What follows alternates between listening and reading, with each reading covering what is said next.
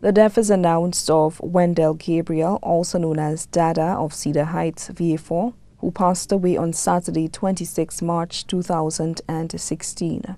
He was 41 years old. Left to mourn, his father, Romiel Gabriel, also known as Tuns from Cedar Heights, Vieux Fort. Brothers, Neil Aird Smith from Cedar Heights, employed with the VAT office. Third Smith from Cedar Heights. Sisters Nyla Smith from Cedar Heights, employed with Arthur Lewis Community College. Grandfather Ferguson Charles.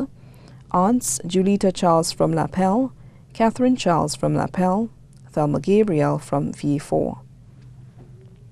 Uncles Hilbert Charles, also known as Abor from Lapel. Wayne Gabriel, also known as Kinky from Vieux Fort. Nephews Menelik Smith from Cedar Heights. Ishmael Smith from Cedar Heights, Ezekiel Smith from Cedar Heights. Nieces, Sanila Smith from Cedar Heights, Savina Smith from Cedar Heights.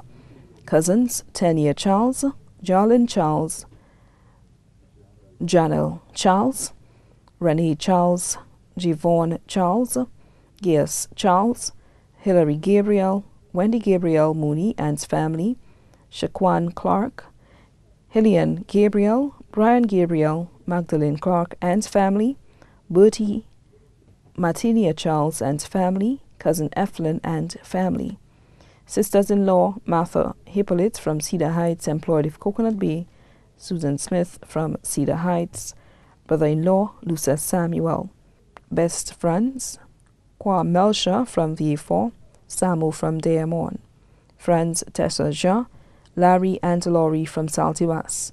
Also left to mourn the Charles family from Lapel, the Smith family from Lapel, the Elva family from Vieux Fort, the Gabriel family from Vieux Fort, Mrs. Loretta Acti Frederick from VJ, Dr. Alet Elcock Cyril, Michelle Theodore and family from Vieux Fort, Avery and Killer Alexander and family from Vieux Fort, Petula James and family from Vieux Fort, the Wilfred family from Vieux Fort, other relatives and friends too numerous to mention.